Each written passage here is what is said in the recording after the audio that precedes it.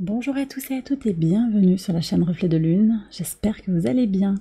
On se retrouve aujourd'hui pour le tirage prédictif de la semaine du 28 août au 3 septembre pour le signe du bélier, soleil, ascendant ou lune en bélier. Alors on va regarder les énergies de la semaine pour vous. Et ensuite on va parler de la pleine lune en poisson qui aura lieu le 31 Allez, le 31 août, on va faire un petit tirage de tarot. Il y a trop de cartes, je voudrais une carte s'il vous plaît pour les béliers. Est-ce qu'on peut avoir une carte ici? Alors, quel est le message? La fécondité avec Gaïa très belle carte. Bon, c'est une semaine pour vous qui va s'annoncer euh, fructueuse, riche. C'est un message qui est en train de se dessiner là pour les signes de feu. Hein.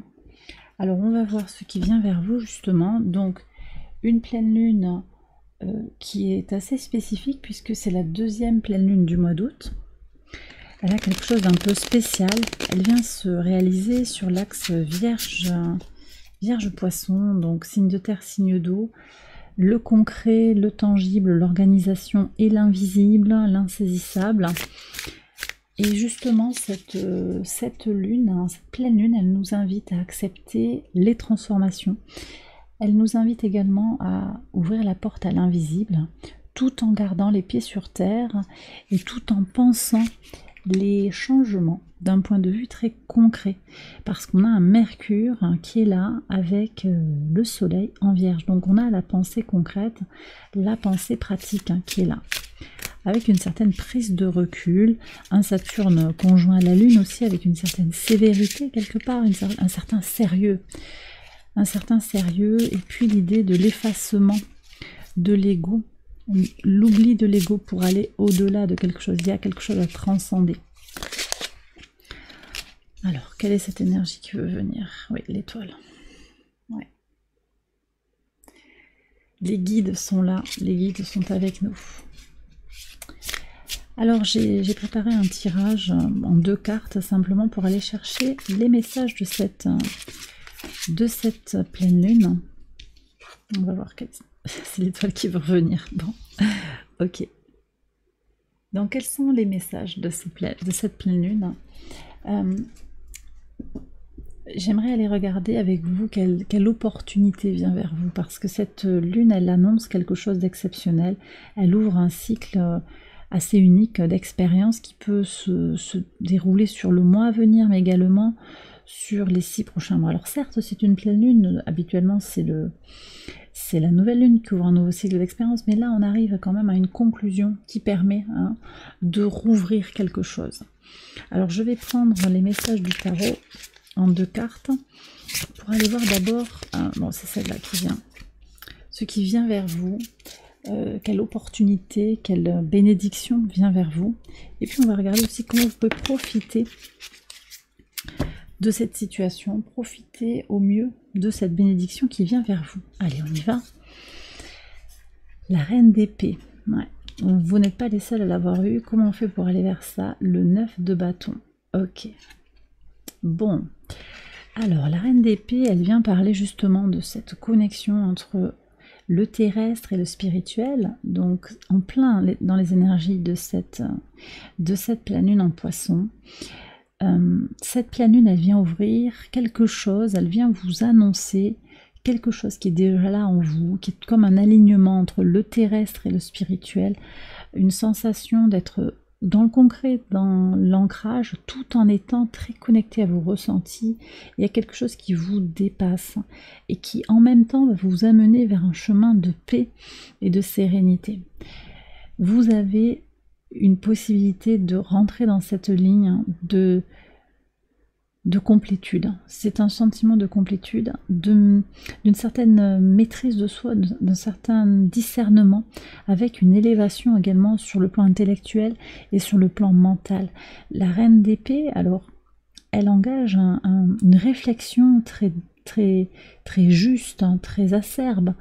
Et ici, on voit que cette réflexion, elle est tournée vers l'élévation, il y a comme un envol, une légèreté de l'âme, une légèreté de l'esprit. Donc c'est quelque chose qui est quand même euh, très très beau, très apaisé. On, va, c'est pas le bonheur assuré, mais c'est un détachement des tracas du quotidien. Donc un bien-être, un apaisement. Et c'est aussi ça Gaïa. Gaïa et sa fécondité, c'est aussi ça. C'est-à-dire que euh, Gaïa, elle intègre les cycles avec les débuts et les fins. Elle est génératrice de, fécondité, mais pour qu'il y ait fécondité, il faut aussi qu'il y ait un cycle de vie et de mort. Alors ça, je ne parle pas de vie et de mort là, mais c'est un cycle de début et de fin, de renaissance, de transformation. Vous voyez? Pour qu'il y ait fécondité, il faut qu'il y ait de la nourriture, en fait. Donc il y a une nourriture qui est dans le terrestre, mais également dans l'invisible, dans la matière, mais également dans le spirituel. Un corps sain, un esprit sain dans un corps sain. Vous voyez, c'est ça en fait. Ça peut être le, cette, ce qui vient vers vous. Alors, voyez si ça vous parle. Je ne sais pas dans quelle situation vous êtes actuellement. Hein. Pas, mais je pense qu'il y a des personnes qui ont besoin de recevoir ce message aujourd'hui. Comment on fait pour y arriver? Comment on fait pour tirer le meilleur de cette opportunité, de, se, de s'épanouir complètement? 9 de bâton, euh, il s'agit de se protéger, un peu de se blinder quand même aussi, hein, ce 9 de bâton. On fourbit un petit peu ses armes, vous voyez, c'est ce qu'est ce qu'est en train de faire cette personne c'est quand même toujours, encore et toujours, ce Saturne rétrograde en poisson, construction de son intériorité, de son temple intérieur. C'est-à-dire que voilà, on comprend les épreuves de la vie, on sait davantage se protéger des énergies tierces, des énergies euh, euh, concurrentes, on va dire, enfin qui ont envie de, enfin qui ont envie, oui, des énergies qui ont tendance à vous tirer vers le bas, voyez, les personnes qui vous envient, qui vous jalousent, on se protège. Donc ici, je pense que pour aller vers cette élévation, ce qui va être important pour vous de, faire, c'est surtout de ne pas être dans QQ les petits oiseaux, c'est sans moquerie, c'est vraiment, euh, c'est, euh, soyez vigilants, soyez quand même vigilants, c'est pas l'hyper-vigilance, mais c'est aussi l'idée de tirer les leçons de votre passé. D'accord On est quand même sur un 9. Le 9, c'est la perfection. Hein.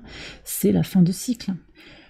Au niveau de l'énergie vitale, vous avez compris des choses. Vous comprenez des choses de votre vie. Continuez à faire grandir tout ça. Tout est, tout est apprentissage. Vous voyez, c'est ce que je reçois ici. Alors, je vais passer au tirage prédictif. Vous savez que ce tirage, il peut parler pour les six prochains mois, vraiment. Ne le prenez pas juste pour la semaine, c'est au-delà, bien au-delà. Je passe au tirage prédictif, on va voir comment il résonne déjà avec ses premiers messages. J'accélère la vidéo et je vous retrouve après.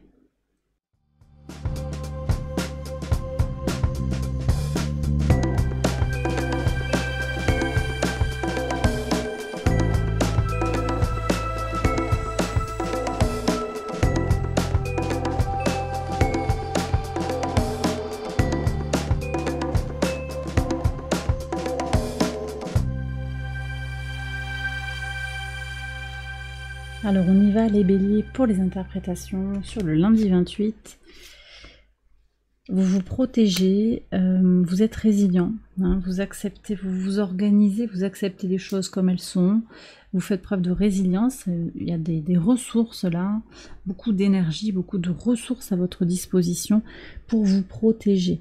Et voyez, c'est ce que je vous disais quand même aussi avec le tarot, c'est-à-dire que l'ours, il a cette capacité en fait à, faire venir à lui l'abondance. À n'importe quel moment, il trouve des solutions, il adapte son régime alimentaire, il se met en veille l'hiver quand euh, c'est plus difficile de trouver de la nourriture. Vous êtes tel un ours, capable de vous adapter, très ancré dans votre nature terrestre et en même temps très capable de vous protéger. Et moi, avec ce bouclier là, je ressens aussi beaucoup d'énergie de protection euh, euh, de, protection contre des attaques psychiques en particulier. Vous voyez, qu'il y a quelque chose qui viendrait de l'esprit. Donc l'ancrage et le psychique qui sont réassociés pour aller vers cette élévation dont je vous parlais dans les bénédictions. Alors, on va continuer avec le mardi 29. Ok, alors quelqu'un essaie de vous culpabiliser, vous voyez, je vous disais qu'il vous fallait vous protéger, ça vous permet quand même d'avancer. Donc vous tirez les leçons de cette situation, de cette relation peut-être qui est un peu bancale. Mercure au trigone de Jupiter et d'Uranus va vous permettre de penser les choses de façon concrète et tangible. Votre désir d'expansion ne peut pas être freiné par, euh, par une pensée unique, par une pensée monolithique. Hein, voyez et donc votre désir de changement qui est matérialisé par Uranus va trouver euh, euh, un écho en fait dans le concret hein, par le biais de Mercure, Mercure en Vierge, qui revient par ricochet sur Jupiter, Jupiter qui nous parle d'expansion, de réussite, de chance. Donc je pense qu'il y a du potentiel pour euh, faire venir à vous ce que vous désirez, pour faire grandir les choses autour de vous, à condition de penser également de façon tangible. Alors sur le mercredi 30, Ouais. Alors quelque chose qui est quand même écrit là, par rapport à votre destin, quelque chose qui doit se passer. Alors pas d'inquiétude, moi je pense aussi vous comprenez des choses peut-être hein, sur le plan spirituel par rapport à un lien d'âme, par rapport à quelque chose qui est karmique. Vous documentez peut-être ou vous comprenez des choses avec beaucoup de sagesse et de prudence. On va voir ce qu'il y a sur le 31, donc le moment de la pleine lune. Alors cette tortue, elle a voulu venir, elle a voulu sauter. Je ne l'ai pas sortie au moment du tirage, mais elle revient là en pivot de votre semaine, donc elle voulait vraiment venir. Bon, ici il y a des retards et cette pleine lune en poisson, elle, elle est, elle est porteuse d'une énergie qui vous retarde. C'est intéressant ça, qui apaise. Ok, elle apaise. Vous avez peut-être envie que les choses bougent très fort, mais en même temps, le soleil est en signe mutable. Il est dans une énergie qui est fluctuante. Et c'est vrai que ça, peut-être, ça vient vous. Ça vous pose question. C'est sûr que, voilà, on n'est pas tout à fait dans, un angle qui vous correspond favorablement. Cette, cette pleine lune en poisson, il faut voir votre thème global, hein, mais en tout cas sur, le signe, sur ce que vous avez en bélier, c'est clair que c'est pas aspecté de façon euh, euh, très fluide. D'où les retards. Mais ces retards, ils sont gages de protection. Donc, c'est pas plus mal hein, de qu'il y ait des retards pour avancer avec prudence plutôt que de construire un château de cartes qui va s'envoler et se déconstruire, se détruire au premier coup de vent. Donc moi j'ai le sentiment qu'il y a quand même quelque chose qui relève un petit peu de... Vous voyez, on a des animaux lents et résilients. La tortue qui a une, capacité de longévité. On avait ça, hein, un corps sain dans un esprit sain, ou un esprit sain dans un corps sain, je veux dire. Et là, c'est ça qui, euh, veut aller loin, ménage sa monture. C'est un peu ça l'idée aussi. Il ne s'agit pas de partir à fond, euh, au contraire. Donc les retards que l'univers met sur votre chemin sont là pour vous guider vers un chemin d'évolution positive. C'est ce que je reçois ici. Euh, vous avez à comprendre des choses entre l'élévation, le spirituel et le concret, quelque chose à purifier, à transformer, à, vous, dont vous, avez besoin aussi de vous dégager. Sur le vendredi 1er septembre. Alors, des serpents sur une naissance. Si vous avez des projets, soyez prudents. Voyez encore une fois, Prenez si ça vous parle, mais soyez prudent parce qu'il y a quelqu'un qui en a après vos idées, après vos, envies, votre désir d'évolution. Quelqu'un ne veut pas vous voir renaître à vous-même ou, vous voir projeter quelque chose, un projet créatif.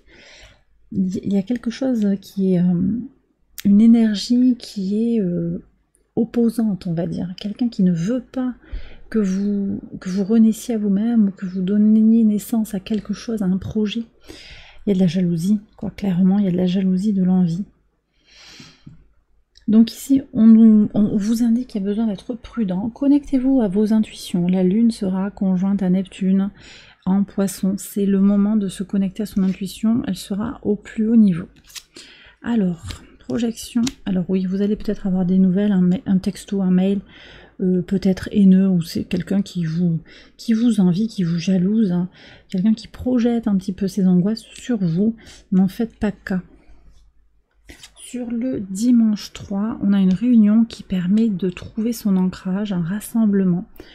Euh, ça c'est bien une stabilisation. Alors ça peut être une réunion avec des amis, une réunion avec un groupe de parole, ça peut être aussi en famille, ça peut être pour le travail. Bon, sur le dimanche, c'est à voir, peut-être que vous allez aussi à une exposition ou dans un musée, il y a du monde, et ça vous fait du bien, ça vous permet de vous de vous structurer, de trouver votre base, surtout si vous avez passé une fin de semaine un petit peu tendue au niveau des relations, parce que je sens quand même ici qu'il y a ce potentiel-là.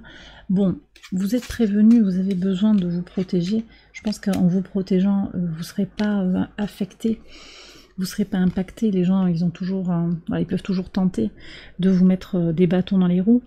Il y a cette protection hein, sur les attaques psychiques aussi. Soyez quand même, euh, voilà, si vous êtes sensible à ça, si vous sentez que vous êtes fatigué ou quoi, je, vous invite à vous protéger aussi par, euh, par euh, bah, des rituels de protection, ce qui vous parlera. Ça peut être intéressant pour vous de faire ça sur la semaine. Et eh bien voilà les béliers, j'ai terminé votre tirage. J'espère qu'il vous a guidé, qu'il vous a éclairé. Si c'est le cas, je vous invite à liker la vidéo, à vous abonner, à partager, à commenter. Vous pouvez aller voir les autres vidéos de cette série pour votre ascendant, votre lune. Je vous souhaite une excellente semaine. Je vous embrasse bien fort et je vous retrouve très vite pour les prochaines vidéos. Bye bye.